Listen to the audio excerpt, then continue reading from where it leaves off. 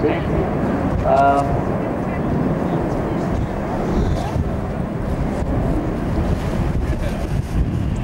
Hold on, there's just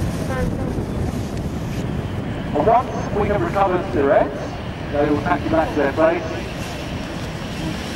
We will be joined by yet another guest commentator.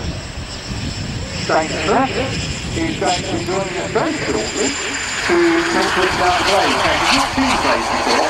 This is great. A very, very good. Say something from I believe uh, Trent will probably um, yell at me if I'm wrong, but I believe they are all ex-Renault clients as well. So we'll be respectful about it anyway.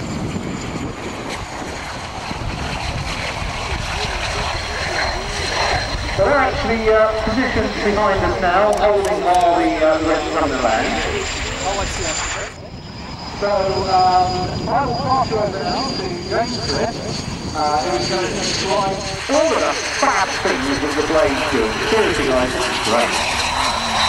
Well, good afternoon, gentlemen. My name is James Cliff, and I'm the Public Relations Manager for the Blades.